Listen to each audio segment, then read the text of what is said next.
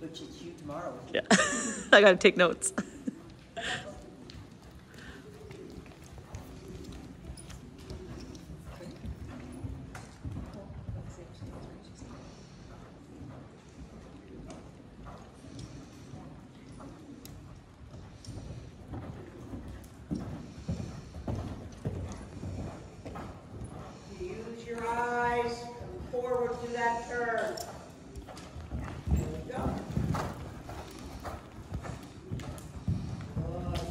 Good boy.